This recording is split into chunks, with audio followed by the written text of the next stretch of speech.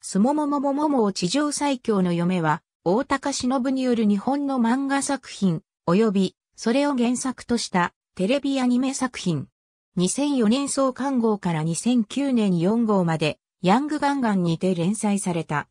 なお、ヤングガンガン連載作品の中で初めてアニメ化された作品となる。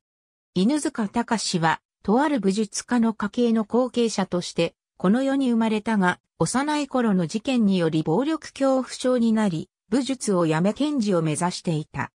ところが高校生となった隆のもとに、同じく武術家の後継者である、くず流桃子が、隆と結婚し、地上最強の子孫を作るために押しかけてきた。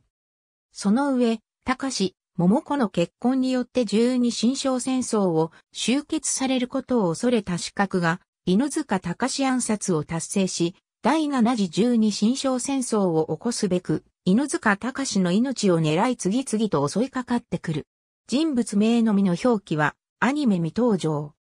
犬塚家関係者、くずり家関係者、宮本家関係者、中寺馬屋関係者、虎家内家関係者、飯の上屋関係者、猿藤家関係者2006年10月より2007年3月まで、テレビ朝日等のチャンネルで深夜帯にテレビ放送されたほか、インターネットでも無料配信された。ハイビジョン制作。23、24話はテレビ放送はされず、8月24日発売の DVD 第9巻に収録。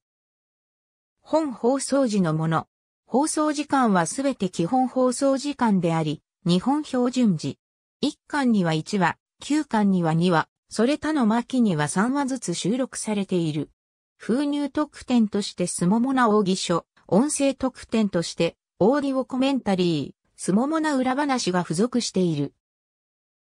2006年12月22日発売オーディオコメンタリー、かの言うも、高橋弘樹2007年1月26日発売オーディオコメンタリー、かの言うも、宮崎羽衣、鈴木千尋2007年2月23日発売オーディオコメンタリー、かの言うも、高橋弘樹、宮崎羽衣2007年3月23日発売オーディオコメンタリー、かの言うも、高橋弘樹、平野綾2007年4月25日発売オーディオコメンタリー、かの言うも、高橋弘樹、平野綾2007年5月25日発売オーディオコメンタリー、かの言うも、平野綾、宮崎羽衣2007年6月25日発売オーディオコメンタリー、かの言うも、平野綾、宮崎羽衣2007年7月27日発売オーディオコメンタリー、かの言うも、平野綾、宮崎羽衣2007年8月24日発売オーディオコメンタリー、かのゆうも、平野綾、宮崎羽衣、高橋弘樹プレイステーション2用ソフト、すもももももも地上最強の嫁経営称しましょう恋の花婿争奪戦が2007年6月21日に発売された。発売元はマーベラスインタラクティブ。ジャンルはアドベンチャーゲームでストーリーの展開に大きく関わるツッコミシステムやバトルシステムが採用されている。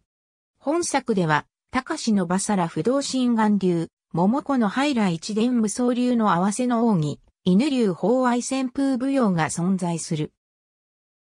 すももももももを地上最強の嫁に関するカテゴリー、すももももももを地上最強の嫁継承しましょう。恋の花婿争奪戦に関するカテゴリー。ありがとうございます。